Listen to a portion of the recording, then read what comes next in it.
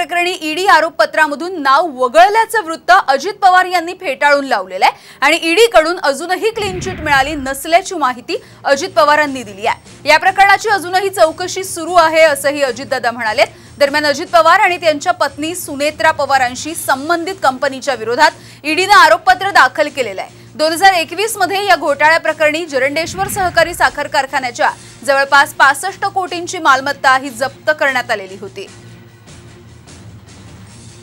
त्या बातमीमध्ये अजिबात तथ्य नाही आहे ती चौकशी चालू आहे. त्याच्यामध्ये कुठल्याही प्रकारे क्लीन चिट मिळालेली नाही आहे ती कशा क- कशाला अनुसरून बातमी दिली मला काही कळायला मार्ग नाही पण मी आज स्पष्टपणे आपल्याला सगळ्यांना सांगू इच्छितो की अशा प्रकारची क्लीन चिट मिळालेली नाही.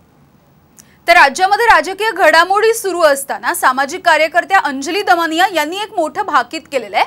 अजित पवार भाजपसोबत जातील असं दमानिया यांनी म्हटलंय. मंत्रालयातील एका व्यक्तीनं आपल्याला त्या संदर्भातली माहिती दिली असा दावा सुद्धा त्यांनी केलाय.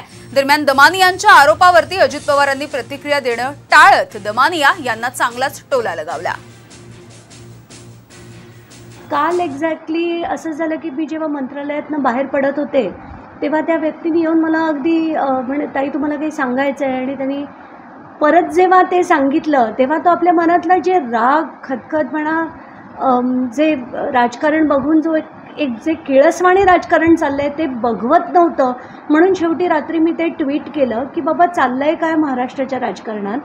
कारण त्यांनी असं म्हटलं की हे जे पंधरा सोळा आहेत ते बाद होणार आहेत आणि ते बाद झाल्याबरोबर राष्ट्रवादीबरोबर भाजप सरकार बनवणार आहे.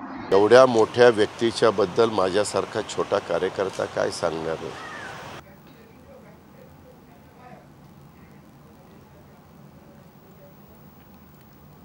तर लवकरच अजित पवार हे भाजप सोबत जातील असं ट्विट अंजली दमानिया यांनी केलेलं आहे आणि त्यावरती आता अजितदादांनी सुद्धा प्रतिक्रिया दिली आहे.